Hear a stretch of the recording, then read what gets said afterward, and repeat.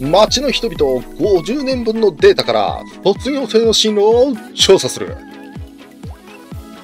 以前に似たような動画をアップしたのですが、サンプル数の少なさであったり、結構内容に問題があったので、今回は進路相談をしないで50年分のデータを集めてみましたので、一緒に見ていきましょ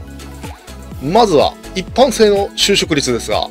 プロ入りに関しては監督次第で増減するので、50年分の卒業生250人から引いておきます。今回のデータでは50年で91人プロ入りしたので残る159人の進路に関するデータになります。159人中町の人々にならなかったのが34人で約21%約80%の確率で一般性は町の人々になるという結果でした。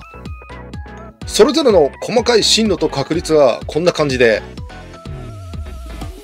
個々の数字に開きがあるのは多分偏りだと思います。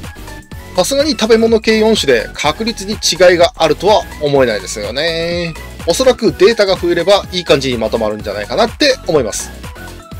とりあえず、プロ入りの人数を調整して、プロ以外の街の人々を増やすっていうのは、栄冠クロス攻略においては正しいと思われます。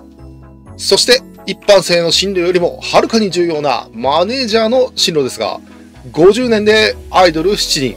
看護師8人、その他35人と、アイドル、看護師への就職率は30%。おそらくアイドルと看護師の確率は均等。という結果になりました。こちらは一般性よりも上振れ、下振れが激しそうで、50年のうち2年連続でアイドルか看護師のどちらかになったのは2回だけ。3年以上連続はなしでした。一方、連続でその他になったのは最長17年と、下振れると本当にひどいことになります。それでは、今回は卒業生の進路に関しての調査結果でしたが、現在も調査は継続中です。ある程度データが溜まるか、ハイノーマルの次が実装されたら再び動画で報告しますので、チャンネル登録と高評価をお願いします。それでは、またね